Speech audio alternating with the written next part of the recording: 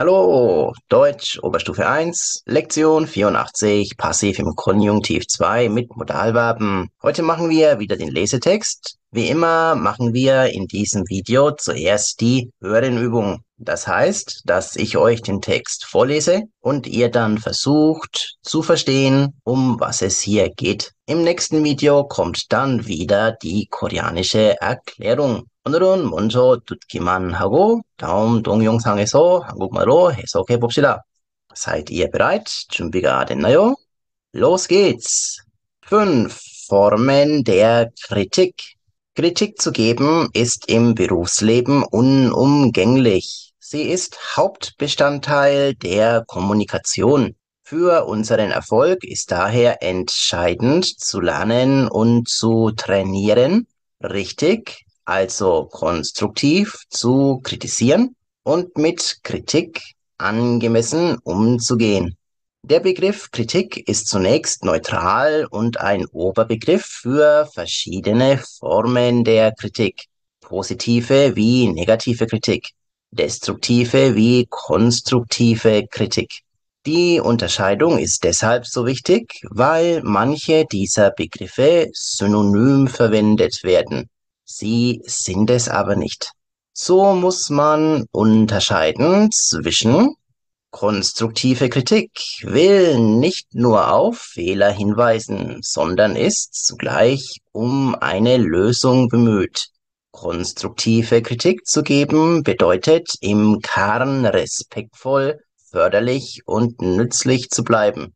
Diese Form zeigt Alternativen auf und bemüht sich um sachdienliche Hinweise und eigene Vorschläge zur Verbesserung.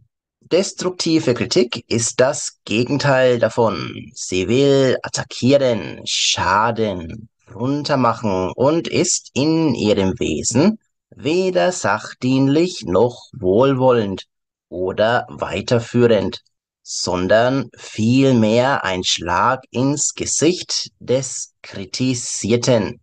Destruktive Kritik soll, wie der Name sagt, zerstören und den Adressaten treffen sowie seine Gefühle verletzen. Je mehr, desto besser. Positive Kritik wiederum empfinden die meisten Menschen gar nicht als Kritik, eben weil sie positiv ist. Schulterklopfen, Lob, Anerkennung, all das sind ebenfalls Formen der Kritik. Auch sie beurteilen eine Arbeit oder Leistung, nur fällt das Urteil positiv aus. Allerdings kann auch das destruktiv wirken. Zum Beispiel, wenn die Wertschätzung so lapidar daherkommt, dass sie schon wieder wertlos wird, beziehungsweise sich selbst entwertet. Bestes Beispiel, wenn sich jemand 20 Jahre lang für die Firma aufgeopfert hat, dann kündigt und mit einem hohlen Wir danken Ihnen für die langjährige Treue abgespeist wird, na danke. Negative Kritik zu äußern muss hingegen nicht automatisch destruktiv sein. Hierbei wird zwar gerügt, getadelt, moniert. Das kann und sollte aber konstruktiv geschehen. Motto. Das Feedback muss zwar einen negativen Sachverhalt beanstanden, aber wir finden gemeinsam und auf Augenhöhe eine Lösung. Selbstkritik schließlich ist eine Form der Kritik, die nicht von außen kommt. Sie kann ebenso positiv wie negativ, destruktiv wie konstruktiv sein. Nur gehen wir dabei mit uns selbst ins Gericht teils in Form von Selbstreflexion, teils mit der Wirkung einer Selbstdemontage oder Selbstsabotage. Es ist eine Kunst, sich selbst zu kritisieren. Was ist konstruktive Kritik? Jeder kann kritisieren. Kritik zu üben ist leicht. Nicht zuletzt, weil wir den Splitter im Auge des anderen immer besser sehen als den Balken im eigenen Auge was Kritik konstruktiv macht und ihre Wirkung entscheidend beeinflusst, sind vier Elemente der konstruktiven Kritik, die jeder wohlwollende Kritiker unbedingt beachten sollte. Wie die Kritik wirkt, ist von vier Faktoren abhängig. Inhalt der Kritik. Zunächst braucht Kritik eine belastbare Basis. Sie muss berechtigt sein, sonst bleibt sie hohl und unsachlich. Der Inhalt der Kritik muss der Sache nach also wahr sein.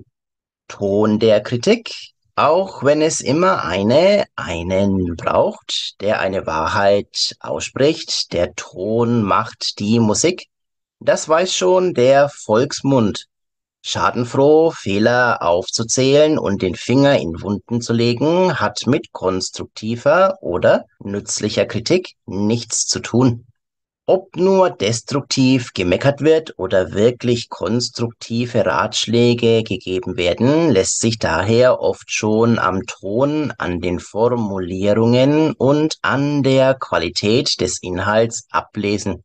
Zeitpunkt der Kritik.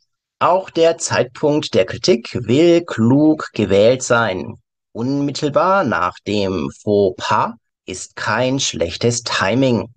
Der Fehler ist noch frisch, der Hergang rekonstruierbar. Der Kritisierte hat überdies einen direkten Bezug dazu. Es gibt aber auch Argumente gegen die Echtzeitkorrektur. Dazu werden wir später noch ausführlicher. Absicht der Kritik und schließlich die Absicht, das Motiv hinter der Kritik. Konstruktive Kritiker zeichnen sich nicht nur durch einen respektvollen Ton aus. Sie sind immer auch wohlwollend. Sie möchten etwas grundsätzlich verbessern, der anderen Person helfen. Die Korrektur ist dazu unerlässlich. Aber sie ist ebenso zielführend wie optimierend gemeint. Ziel ist ein Lerneffekt. Seinem Gegenüber Fehler vorzuhalten, verschafft einem vielleicht kurzfristig und im Moment des Ärgers etwas Luft und Erleichterung. Es hilft dem anderen aber herzlich wenig bei der Frage, was verbessert werden soll und vor allem wie. Konstruktive Kritiker machen sich daher die Mühe zu überlegen, wie ihre Kritik beim Gesprächspartner ankommt. Sie kritisieren nicht einfach impulsiv. Vielmehr formulieren sie ebenso empathisch wie konkret, ohne dabei irgendeinen Weichspüler zu verwenden. So kann die konstruktive Kritik zugleich sicherstellen, dass die Beziehung keinen Schaden nimmt. Beispiele für konstruktive Formulierungen. Ich habe ein Problem damit, dass, aha, was halten Sie davon, wenn wir an der Stelle eher, aha, mir ist aufgefallen, dass Sie, aha, das finde ich generell gut. Für die Zukunft würde ich mir aber wünschen, dass Sie mehr darauf achten, aha. Damit bin ich nicht einverstanden. Ich habe mir ebenfalls Gedanken dazu gemacht und finde es besser, wenn, aha, Tabusätze in der Kritik. Das ist ja wieder mal typisch für Sie. Andere sehen das übrigens genauso. Immer machen Sie das falsch. Nie sind sie dazu in der Lage, aha. Was haben sie sich nur dabei gedacht? Sogar 좋습니다. Ab jetzt werden die Texte immer länger und natürlich auch ein bisschen interessanter. 앞으로는 긴 문장, 진짜 책 같은 느낌으로 원어민답게 읽어봅시다. 그래서 모든 단어, 모든 표현 무조건 암기해야 돼. 이런 부담감이 필요 없고, 그래도 최대한 많은 독일어 실제로 읽고 체험하고 그 중에 자기한테 의미 있는 단어 우선적으로 암기하면 충분해요. 그래도 많이 많이 읽어야 단어 체험할 수 있고 외울 수 있죠. Das ist für mich sehr, sehr wichtig. Wie gesagt, das nächste Mal kommt dann die koreanische Übersetzung. Dann könnt ihr den Inhalt sicherlich viel, viel besser verstehen. Dann bis zum nächsten Mal. Tschüss.